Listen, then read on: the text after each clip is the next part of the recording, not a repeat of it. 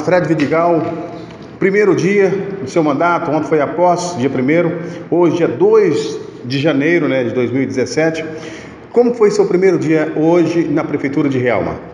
Dudu, boa tarde. É, mais uma vez uma alegria falar com vocês do Jornal Populacional. O primeiro dia de trabalho nós iniciamos com muita dificuldade.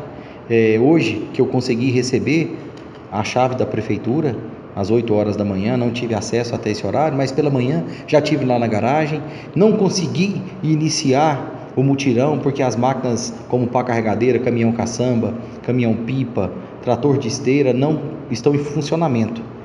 Então não consegui iniciar os mutirões, conclamei os empresários e produtores rurais que já responderam e vão organizar as suas máquinas para que a gente possa iniciar na quarta ou quinta-feira pela manhã o mutirão da limpeza no nosso município, porque nós não temos condição de utilizar as máquinas da prefeitura porque estão quebradas.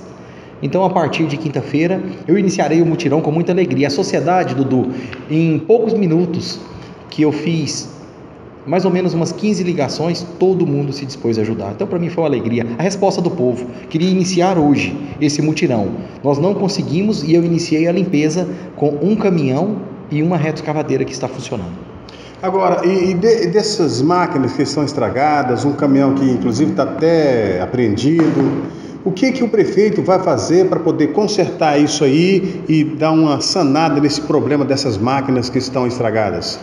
Dudu, nós já iniciamos fazendo um levantamento desses equipamentos que estão estragados, um levantamento de custo. Já estamos fazendo aqui, Dudu, todos os trâmites legais para as licitações que devem ocorrer no início de mandato, para que as coisas justas possam ser contratadas com um preço justo. É isso que nós vamos fazer. E outra coisa que é importante também, Dudu, nós já fizemos é, um levantamento inicial também é, das questões é, de patrimônio. Nós estamos fazendo a conferência, eu vou determinar agora uma comissão para que possa ser feito a conferência do patrimônio público. E você vai é, fazer alguma auditoria na prefeitura? Nós vamos fazer levantamentos né, de todas as situações financeiras. Inclusive, é, foi feito hoje já um decreto onde eu cancelei todos os pagamentos que não entraram ainda dentro da prefeitura, para que a gente possa tomar ciência de tudo aquilo que existe, porque eu não recebi um relatório financeiro. Hoje pela manhã não recebi esse relatório. Então mandei via decreto cancelar todos os pagamentos que estão feitos para que eu não tenha nenhuma surpresa negativa. Peraí, vê se eu entendi. Todos aqueles pagamentos que a prefeitura iria realizar agora em janeiro, eles foram cancelados?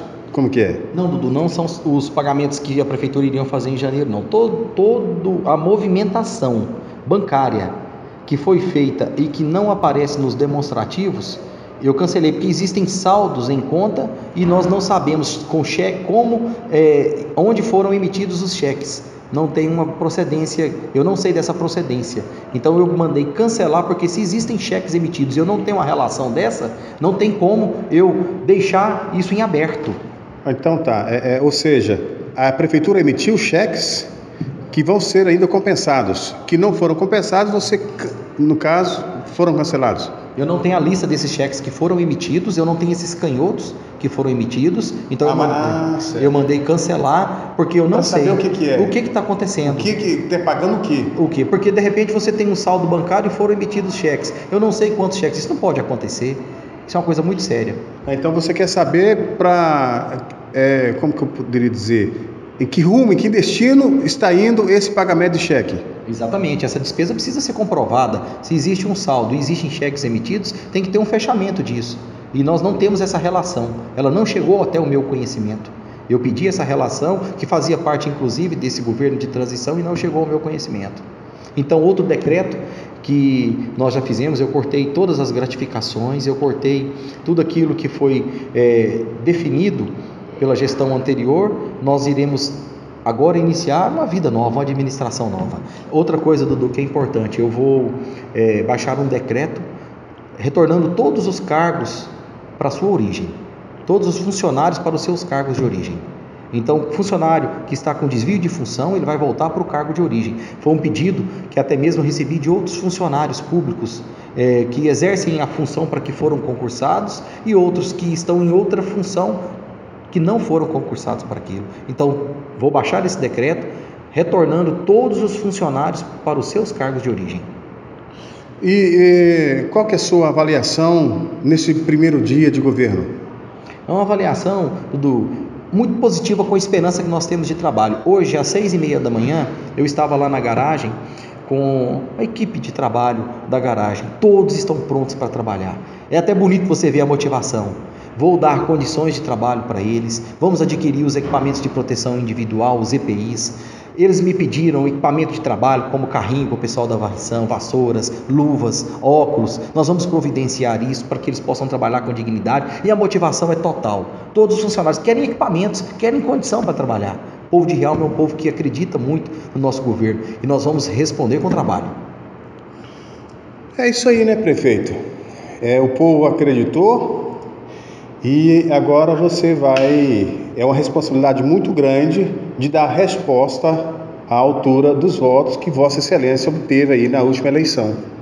Verdade, é uma responsabilidade muito grande, por isso que nós estamos agora, peça compreensão da comunidade, a participação, mas principalmente a compreensão, para que eles possam entender o quanto está sendo difícil. Esse governo que nós estamos enfrentando é uma dificuldade tremenda por todos os lados. Então eu conclamo a sociedade a participar, a nos ajudar como tem feito, colocar o nome à disposição para nos ajudar no mutirão da limpeza, para nos ajudar na coleta de lixo, enfim, a compreender que a situação que nós estamos vivendo é uma situação difícil, mas vai melhorar graças a Deus e ao povo. É, é só para encerrar, eu estava, eu sempre escuto a Rádio CBN, a Rádio CBN do Rio, e os especialistas na economia sempre falam que 2017 não vai ser bom ainda. Realmente é, é, é aquele detalhe. Muita gente que, que passou 2016 na maior dificuldade, vai, vai chegar o 2017 e já vai melhorar. Mas não é assim. Não é dessa forma. Vai continuar com as dificuldades esse ano de 2017. É, muitos falam que, economistas falam que vai melhorar ali no meio do ano para frente, já a partir já final de 2017 para 2018 que vai começar a economia andar de verdade. Como que será essa gestão nessa dificuldade? É uma gestão que onde nós precisamos enxugar a máquina pública, economizar nos contratos, nas compras, negociar. Por isso que nós iremos trabalhar, Dudu, com a economia inicial para fazermos um caixa e assim ter o poder de negociação, comprar com preço justo. Prefeitura, na minha administração, eu não aceito superfaturamento. Então nós vamos economizar para destinar para o povo aquilo que é do povo, com economia, com honestidade e transparência. Então você acha que no final do seu mandato, porque agora que está começando, no final do seu mandato, Rialma será uma outra cidade? O povo pode contar com isso? Eu tenho certeza e o povo pode contar com isso. Eu tenho certeza absoluta, porque nós vamos trabalhar e destinar da forma que precisa ser destinados os recursos para o nosso município. Prefeito, está sendo gravado, vai ser veiculado no jornal e vai estar registrado. Ao final dos quatro anos, você pode ter certeza, nós vamos te procurar. Dudu, eu quero que você me procure como nós falamos ontem, daqui seis meses, no aniversário da cidade. Vamos ver como é que está a situação da nossa querida Rialma. É um compromisso, dentro de seis meses, a diferença. Se eu estiver errado, que o povo me cobre. Se eu estiver certo, só quero agradecer a participação de todos.